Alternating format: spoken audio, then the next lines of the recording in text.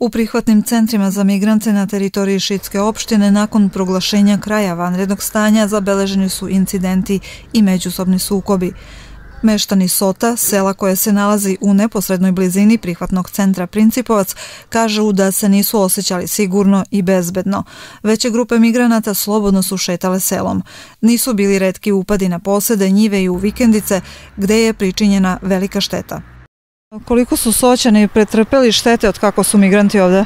Pa mnogo su pretrpeli štete. E,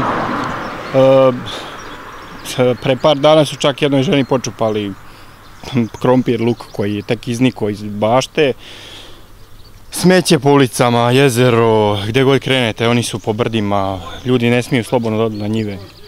Mnogo štete. Pretrpeli su velike štete pod broj 1, ne smo da izađu u selo jer se e, boje od migranata. Tu ih ima mnogo, e, prave probleme i po radnjama i samim meštanjima ovog mesta. Ja lično ne znam ništa oko toga. Ovaj, meni jedino, po mom mišljenju, problem u tome što smo mi mala sredina, poznajemo se svi, pa ne laze mnogo ljudi u jednom trenutku, idu širom ulice, nice ovi, ovaj, poštoju znakove savraćane, niti bilo šta i ljudi se jako neprijatno osjećaju u tom trenutku.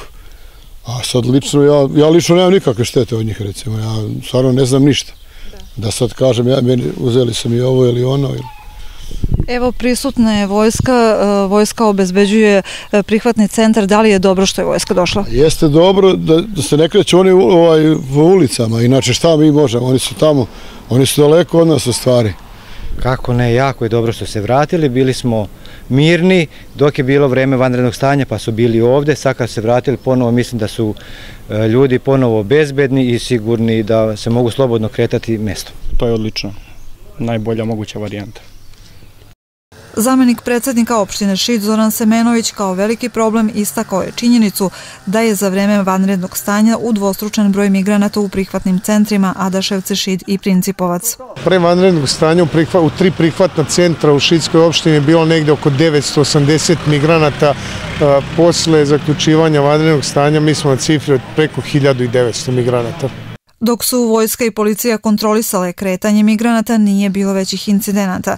Problem je nastao po proglašenju kraja vanrednog stanja kada su migranti nekontrolisano izašli na ulice. Vojska je sve vreme bila prisutna za vreme vanredne situacije, izuzetno je preventivno delovala na održavanje opšte bezbednosti u našoj opštini. Sa prestankom vanredne situacije vojska je napustila svoje položaje, policija je zauzela njihove položaje, međutim negde u sredu u poslepodnevnim satima policija je napustila položaj ispred prihvatnih centara gde počinju prvi i osnovni problemi, a to je nekontrolisan izlazak migranata i sloboda kretanja u smislu njihovog ne povratka u kampove, nego lutanja po našim matarima, po našim selima i ugrožavanje bezbednosti svih građana. Ono što je sigurno jeste da ćemo uvek poštovati sve migrante koji poštuju zakone Republike Srbije, oni su prihvaćeni svugde, a svi oni koji to ne žele da rade morat će da odgovaraju prema zakonima Republike Srbije. Po dolasku pripadnika Vojske Republike Srbije situacija u ovoj opštini je pod kontrolom.